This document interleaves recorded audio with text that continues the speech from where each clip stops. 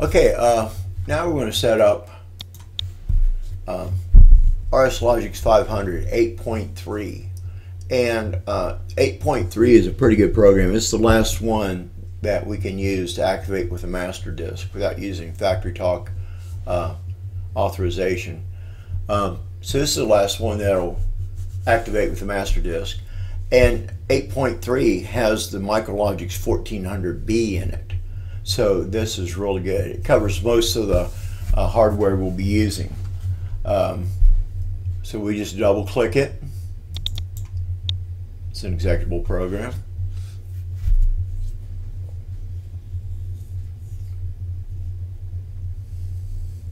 And it sets up really fast.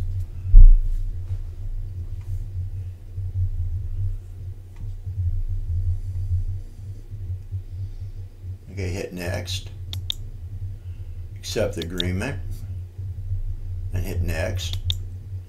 Okay, now this 10-digit uh, serial number is different than all the rest of the software. Uh, you'll pick your serial number text, serial number text, and we'll pick in this number right here for the Logix Pro and we'll paste this in. This is the only one that's different except for uh, RS Tune which is missing the first, first four numbers. Uh, so you hit next and this will activate with the master disk and you hit complete.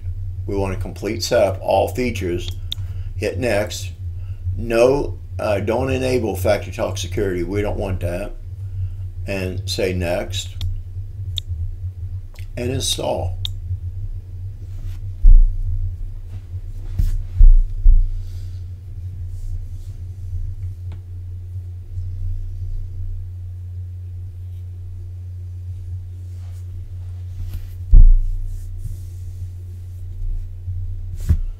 Okay, here's our release notes.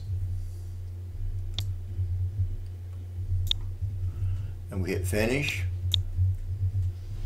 All right, now we, we need to click on RS Emulate 500. RS Emulate 500.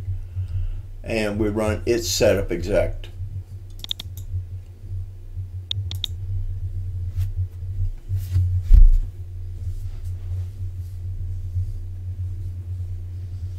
And we just hit next and agree and next. And it doesn't need a serial number. It's just put in a dot for your organization and hit next. And we want the complete setup next and install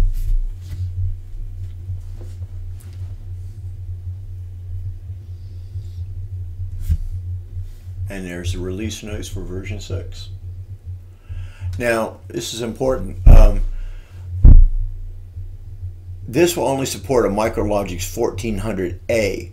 Uh, the 8.3 will support the 1400B for programming, but as a simulation, you can only do a 1400A. The emulator will not support a 1400B. So that's important. Okay, finish. Uh, we can come to our start menu, our programs, Rockwell software, 500 English.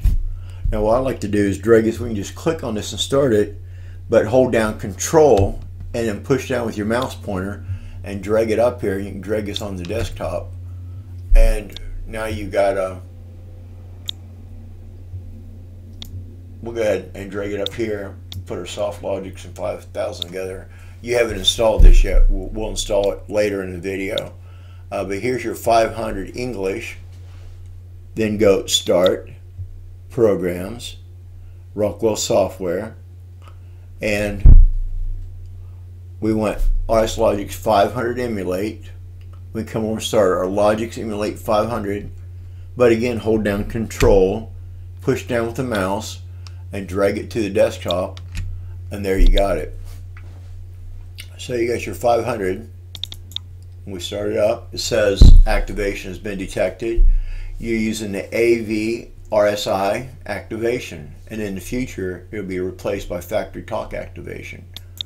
We hit OK. We're activated. And under help, you'll see we're activated. There's our serial number and our prefix. It's licensed to Windows user. And now we can actually start a new program. We might go like um, uh, a Micrologix 1400 B. See it's in here. And okay. And there you go. Uh, click on the frame right here. You see this one here is highlighted. It's active right now. Click on ladder 2. We have a system, ladder 2. We cover this in the the 500 lessons. We've got everything you need to learn 500 in there. Click on this and uh, add a rung. Sometimes you got to click twice. Just drag it down until you get a green uh, box and let go. Grab the examine on, drag it down until you get a green box and let go. Get an output. This is an output energize drag it down until you get the green box, let go, it puts it where it belongs. You do is double click on this and put an I for input, and it shows you what input you have available. And this would be the inputs on the Micrologix itself.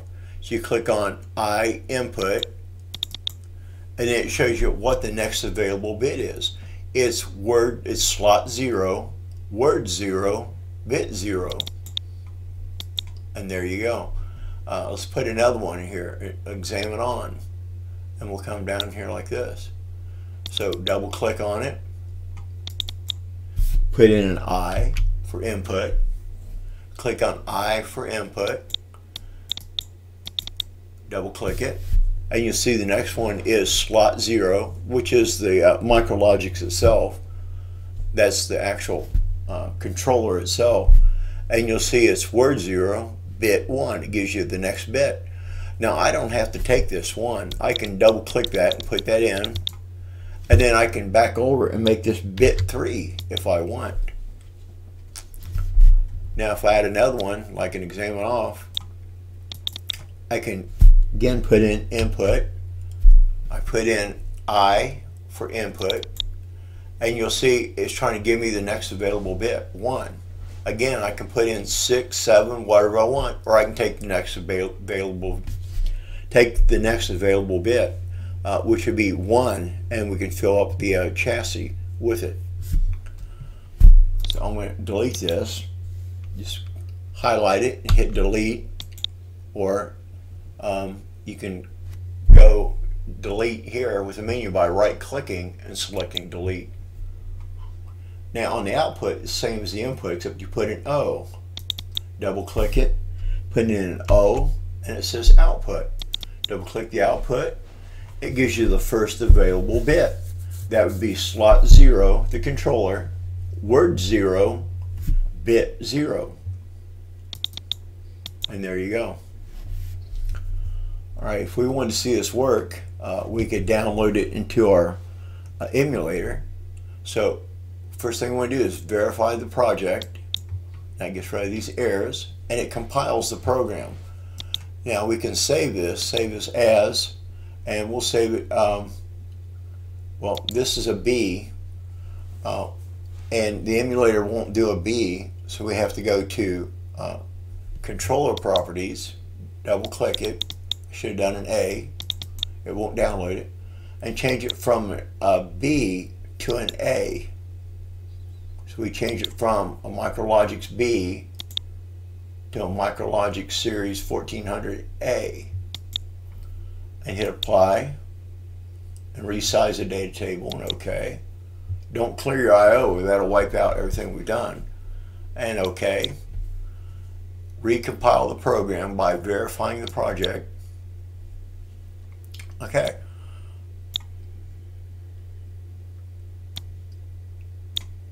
Oops.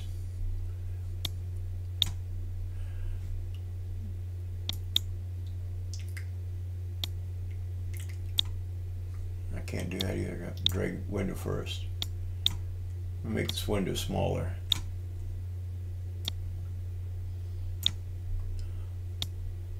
Okay.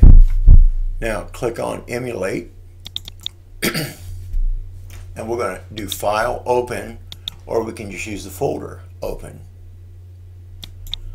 Pick our project. Uh, we put it? Where we put it? Under test. Where we save this project at? File. Save as. And it's under my documents. Uh, let's put it in test. And we'll call it test.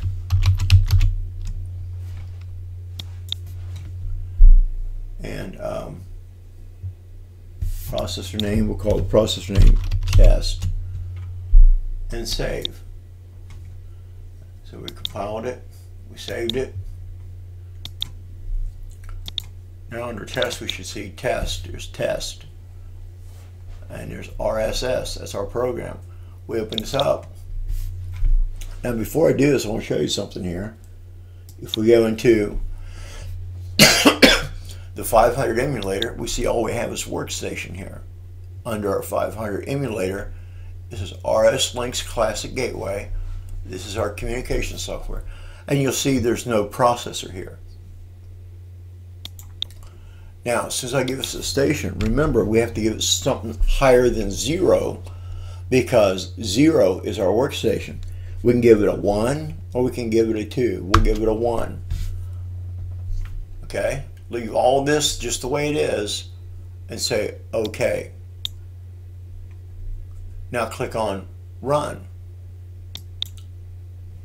Now, if you come over here and you look at your RS Linx again, expand it up, now you see you got a MicroLogix 1400 running. If we go over here and we say uh, go online, we got to upload or we can download either way. So we go communications and system comms and we got who active go online. So we click on who active go online and we come down to our emulator and we'll see our MicroLogix here. Click on it and hit OK and now we're online. We're online with it because we started it in the uh, we started it in the emulator now in the emulator you don't see anything it just it's just a, a program running it's just a little emulator program running uh, but it allows us to see what's happening here so if I turn on this bit with a toggle toggle bit you notice it comes on now I toggle this bit from a 0 to a 1 and my output comes on if I I need both this, this one and this one. So if I toggle one off, it'll go off.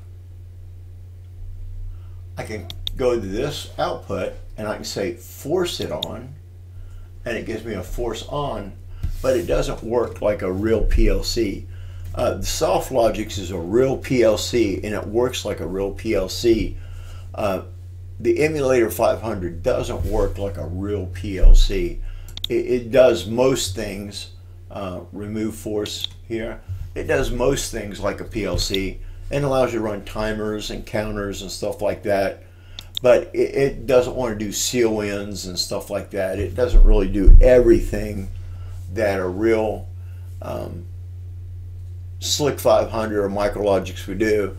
You're better off if you really want to learn the RS Logix 500, you're better off buying something like a MicroLogix and you can get them from 75 to $100 and get your real MicroLogix with a serial cable or get it with Ethernet. Most of the, uh, like the, the 1400B, I don't know about the A, the 1400B has an Ethernet adapter. And you just plug in an Ethernet cable off your switch, off the back of your modem router, and uh, you can communicate with it. You can program all day, and it does has real input and output. You can take 24 volts and hit it to the uh, input and watch it actually turn on and work. Uh, you could drive a little relay. It has a 0 to 10 volt out, so you could put a little 0 to 10 volt fan on there and change the speed of the fan. You can take a 9 volt battery and a potentiometer and you can dial in 0 to 9 volts, is 0 to 10 volts in, but you can dial in 0 to 9 volts and write a PID program to uh, control the speed of the fan. So you can do a lot of programming with the 1400 for about a hundred bucks. okay, we've pretty much covered the uh, RS Logix 500 and how it works. Uh, we've got lots of lessons on the learncontrolsystems.com. You go to PLCs and lessons, and um, SLC 500 was RS Logix 500, and it covers both MicroLogix and Slick 500. Uh, they focus on the MicroLogix. It's a newer processor, and it'll be around for a long time. Uh, the Slick 500 will be discontinued this year, 2022. Uh, but they'll be around for another five or ten years. It's just they're not going to produce them anymore.